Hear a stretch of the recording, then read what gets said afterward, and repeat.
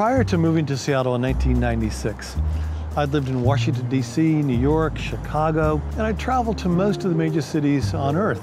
By comparison, Seattle seemed beautiful, but small, provincial, a little isolated, a preteen of a city. But somehow in the intervening years, Seattle grew up, quietly came of age, and now suddenly and unpredictably disrupts the world in so many dynamic ways.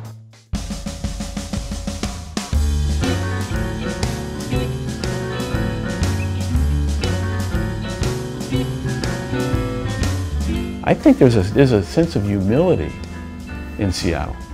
And I think that humility creates the balance uh, where less is more.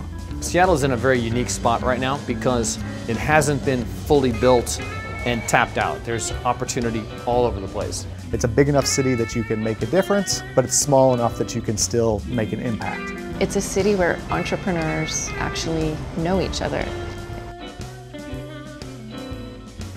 This city seems to reinvent itself, or it has consistently been, been reinventing itself. We have a new symphony hall, we have a new museum in three locations, we have uh, the Experience Music project redeveloped. So I've seen all of these houses for culture grow and develop as the city has grown and developed around it. There have been phases, there have been pockets of growth every now and then, but uh, this is by far the fastest one. I think certainly the big technology companies are to be credited. They're bringing the best and the brightest in from all over the world.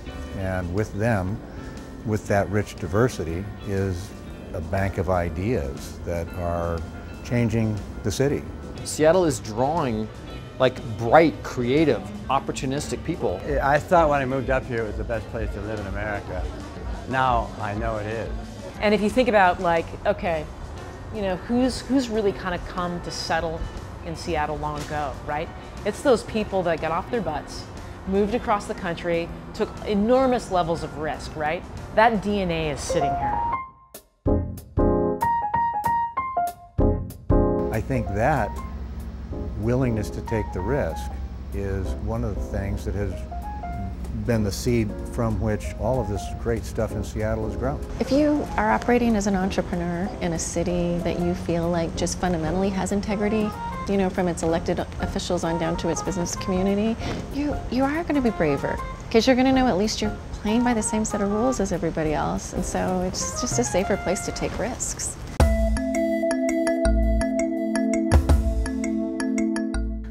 One of the great things about Seattle is that there's a very permeable membrane between the urban and the wilderness. Uh, you know, you can get on a, get into a kayak within minutes and be in real water and the ocean and the sound.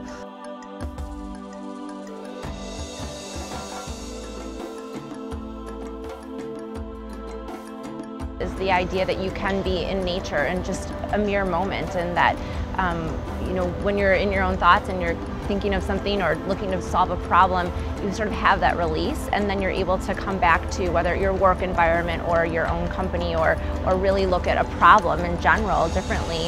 It allows sort of that, that fluidity um, in, in life.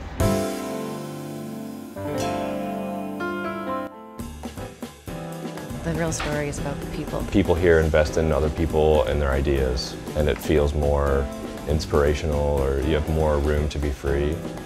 I think here it's a participatory, inclusive kind of environment. People start to be part of their environment, they get creative. I think Seattle would probably be close to the top of the list uh, of embracing people from diverse backgrounds and living in harmony together.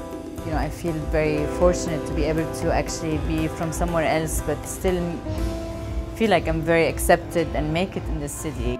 I don't think there's a city in the world where has the culinary diversity of high quality food and surprise and delight, not to mention the experience you're going to have in these restaurants.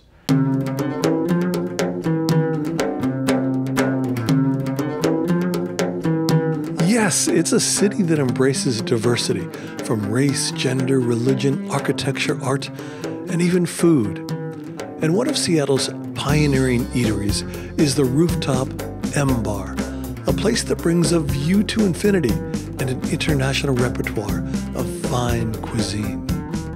A place like M Bar, which is, has no walls, as you can see around you, uh, means that you can see and be seen and it's very easy to connect with other people. You know, I think we're hoping to really create a memorable experience. Um, so by the time you actually sit down to your table and you're kind of reading the menu that, you know, you're really feeling the sense of place. We really look to find the right energies of people who are absolutely passionate about their craft. Wassef and Raja around the concept of M-Bar emanated that energy. And in sort of contrast with other amazing uh, settings and, and, dining experiences in the city, we want it to be very dynamic and not static. We, we want to make sure that the space is very flexible and it tracks how the city is growing. From philanthropy to tech, life sciences to art and architecture, from progressive social initiatives to sustainability, to even coffee, craft beer, and groundbreaking fine dining. Seattle not just bends the light, but hacks the world to a better future.